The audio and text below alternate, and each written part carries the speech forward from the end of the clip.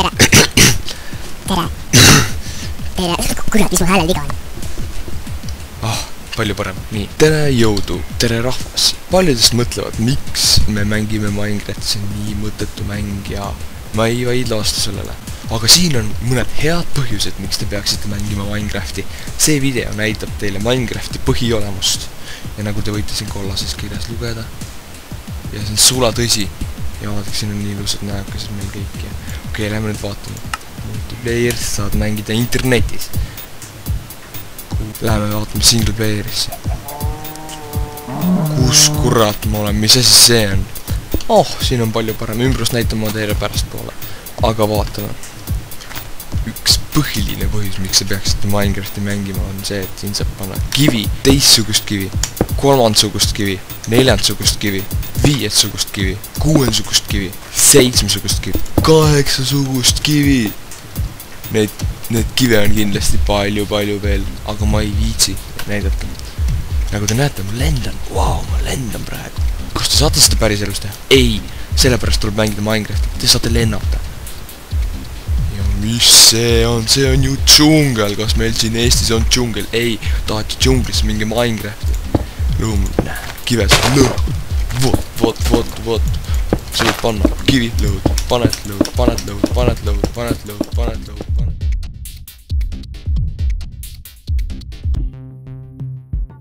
lõud, paned lõud, paned lõud, kas see pole mitte lõbus? Te võite seda päev otsa kodus teha ilma ära tusinemata. Ja siin on lumi. oi kurat, lund on meil endal ka, okei okay,, lumi unustage ära. näiteks siin on hea, super hea asi see, et sa näiteks paned puu ja mis siis juhtub, siis sa paned siia peale valguse. ja see on kogu, kogu tehnika, rohkem mitte midagi. ja nägid, ongi elamine olemas, sa võid selle ühe, ühe kasti peal siin elada, ei ole mitte midagi viga. sa võid panna teise valguse, panna kolmanda valguse ja sa võid kolmanda ära võtta. ja siis uuesti panna ja teise ära võtta, sest nii on lahe. näed, ja siin on ka loomad, lähme kohe tšekime alla. ja kas see pole mitte soosiv? Läheme vaatame. hea on see, et siin mängus ei saa ennast ära tappa, vaadake seda. ja üks põhiline asi on see, see mäng ei ole üldse vägivaldne. surre maha, ma üritan videot teha, tõmba minema, sa tahad molli saada mine ära, mine ära, mine ära. Lehmad, tulge siia, mul on mätast, okei okay.. tulge siia, mul on liha, panen pannile, et lammas, vahid, sa tahad molli saada. nii, kuhu me jäimegi? aa ah, jah, seene korjamise juurde. Te võite korjata seeni, oih, ma seent ei saanud? proovime veel. ma ei saa seeni. ma kaeban kohtusse selle mängu. see on nõm-, nõme mäng.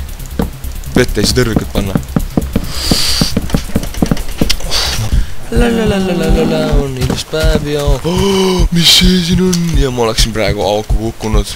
ma oleksin praegu, aga lähme lendame ringi. vaadake, kui äge see auk siin on. Teile ei meeldi, jah? jumala äge ju. ma leidsin koopa, kus on inimasutsus ja siin on ämblikud. see mäng ei ole vägivaldne, nagu ma ütlesin, ma ainult paikan teda praegu, ma teen talle ainult pai, näe, ta ei sure ära. oi jumal, suri ära raisk.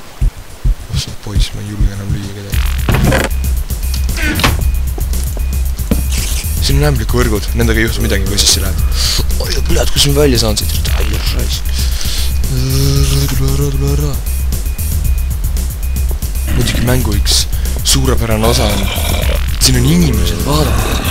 Nad on rohelised, neil on paha olla, aga inimesed, saate kommunikatsiooni saate teiste inimestega suhelda.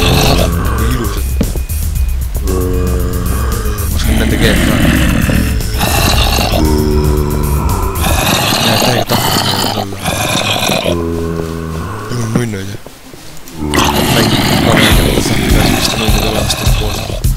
mängu ideoloogia seisab, seisneb selles, et siin on, siin on nagu, nagu väga külm onju, näete, siin on lumi.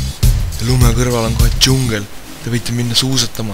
okei okay,, siin pole suuski, aga kui oleks, siis te võiksite minna suusatama ja siis otse džunglisse päikest võtma ja papagoide rääk-, rääkimine. Kuigi siin ei saa päevitada, siin ei ole papagoisi, aga mis siis? ja siis te võite minna otse sohu, kus on palju vett ja saate ujuma minna kuigi siin pole lumist pükse. ja siis te saate minna kohe uuesti džunglisse, siis on siin lõputult kasked eveljad, kus saab palju, ah siin ei ole sääski. igatahes, ja kui te tahate, te võite läbi kaardi kukkuda, nagu mina.